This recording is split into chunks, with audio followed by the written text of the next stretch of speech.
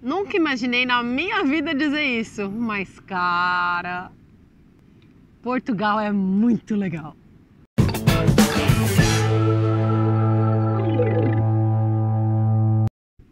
Oi pessoal, aqui é a Cami Escrivano, tudo bem? E contrariando todas as minhas previsões de meses atrás, eu estou na praia. E eu não estou no Brasil, eu estou em Portugal. E, gente, é muito louco, né? Porque assim, você. Quando você mora no Brasil, independente de onde você mora, você está acostumado com mar, praia tal, sol, calor, isso não é tão importante.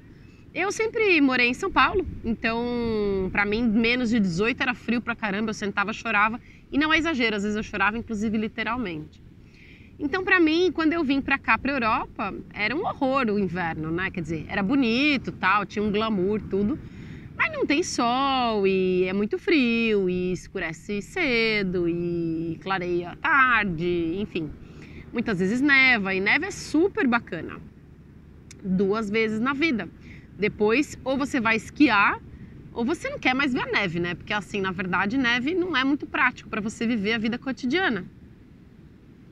Enfim, mas você se adapta porque você fala, bom, vou morar na Europa, a Europa é frio, portanto, né?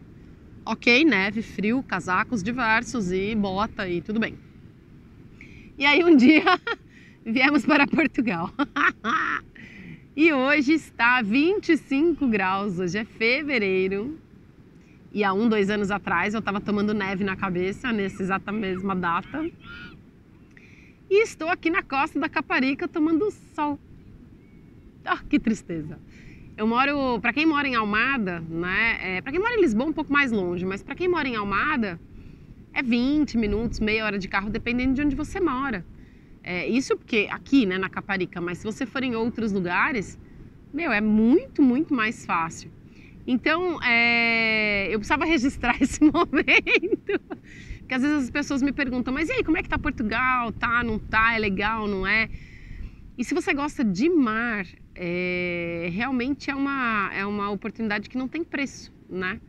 Porque realmente eu mesma nunca morei tão perto do mar, nunca morei tão perto da água, né? E para quem mora em São Paulo, morar perto da praia é meio que um sonho de consumo, assim, né? Tipo, é uma coisa muito cara. Só quando você tiver muito dinheiro, comprar uma casa na praia, se aposentar ou mudar para o Nordeste, aquelas coisas, né? É muito distante, é muito tópico, né?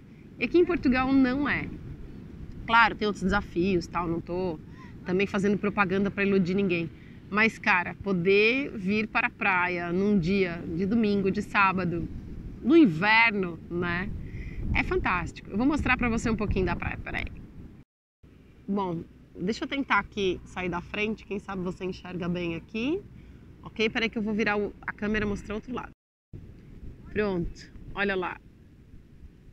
E é lindo. Ai, meu Deus, a câmera. Calma aí. Pronto. Ainda que na verdade nem é a melhor praia assim para determinadas atividades, porque por exemplo, aqui tem surfista. Deixa eu virar para você ver. Parará.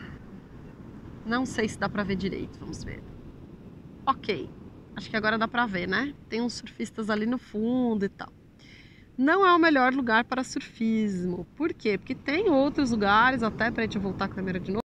Pronto tem outros lugares melhores para esse tipo de atividade quando você está falando de Portugal. Por exemplo, Nazaré, é, Cascais, parece que Oeiras é muito bom também. Então tem alguns lugares aqui que são realmente bons para surfismo. Apesar de que aqui tem bastante gente surfando. Nesse meu pedaço aqui é bem pouco, mas tem uma galera mais para lá, tem bastante gente mesmo hoje. Mas tem muita onda, né? Agora, para quem quer fazer um mergulho, quer fazer um snorkel, quer só nadar ou tomar sol, Perfeito. Uma outra coisa que eu vi aqui, que eu não tinha visto em outros lugares na Europa, é isso aqui, peraí.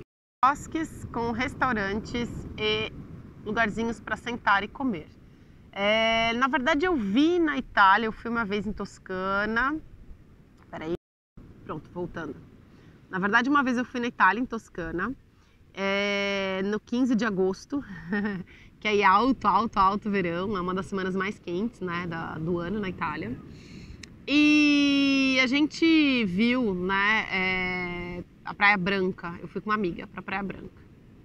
Lindo, maravilhoso, fantástico, frio desesperado de manhã e depois uma delícia de tempo, mas O lugar mais próximo que tinha para comer era muito longe e não tem esse tipo de estrutura de jeito nenhum. Aqui tem vários restaurantes e tal. Então, acaba que viabiliza mesmo um pouco mais o passeio. E se você quiser vir com criança tal. Aliás, tem gente aqui com criança jogando, brincando tal. É muito mais acessível do que. Né? Claro, para quem mora no norte da Itália, deixando claro, para quem mora no sul, sente uma falta lascada disso aqui, né? E na França isso aqui praticamente não existe, porque para quem mora, sim, existe, para quem mora em lugares muito próximos de praia, mas para quem mora na capital, por exemplo, né? Isso aqui não é viável. Quem mora em Paris, quem mora em Milano, quem mora nesses lugares assim, não é viável esse tipo de passeio. Você tem que ir muito longe, né, para ter um lugar como esse. Bom, então é isso, já falei bastante e eu vou curtir aqui a praia, o sol e Portugal. Até mais. Bye bye.